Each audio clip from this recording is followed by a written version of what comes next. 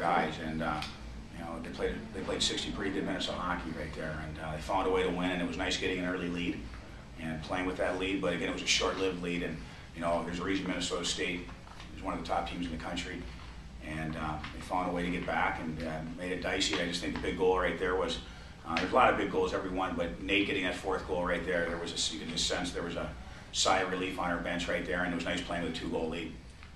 On our first shift, we just wanted to get uh, get pucks deep and keep it low and work them and, and lay the body in. I think we did that pretty well today. Uh, there's a lot of transition game in the neutral zone, but we tried to get pucks deep, and especially in the first period, we popped a few in and uh, got the boys' morale up, and we just rolled from there.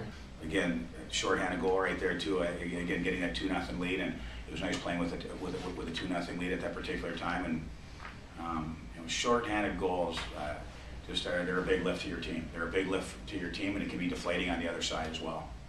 Well, again, I think if, if you want to if you want to reflect back on the year, uh, getting home ice is a huge accomplishment for our team. You know, there was a point in November when we lost six games in a row, and at that particular time of the year, you know, home ice looked very difficult. And quite honestly, um, the top three teams were they, they almost solidified themselves at that particular time. It was early on in, in the year, so um, we had the most difficult uh, schedule in the league, having to play uh, Minnesota State, Michigan Tech, um, Bowling Green, all four times, plus Northern Michigan. I mean, you think about our schedule, and uh, it was a difficult schedule. We had a month of February that was a, a, a huge grind when you had to go back to back to the UP, and then two weeks later have to go to Big Rapids, Michigan. So our back, our back was against the wall. We had to fight through a lot of adversity, and um, our guys really responded.